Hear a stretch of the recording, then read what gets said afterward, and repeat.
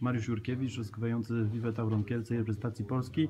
E, Mariusz, gratulacje sukcesu, jakim jest wywalczenie tytułu Mistrzów Polski. E, Przed Wami jeszcze dwa wyzwania. Już w najbliższy weekend na warszawskim Torwarze zmierzycie się w Final Four PGNG Pucharu Polski.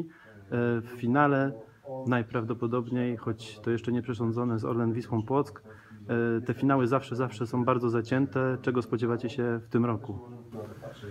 No, w tym roku przede wszystkim e, spodziewamy się dosyć ciężkiej przeprawy już ze Stalą Mielec e, w półfinale.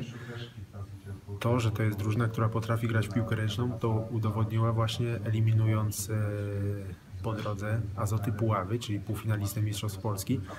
E, więc nie myślimy w tym momencie w kontekście finału. Mamy przed sobą e, sobotni mecz, na tym się skupiamy. Oczywiście naszym celem jest e, zdobycie Pucharu Polski i wiemy, że aby to zrobić musimy znaleźć się w finale.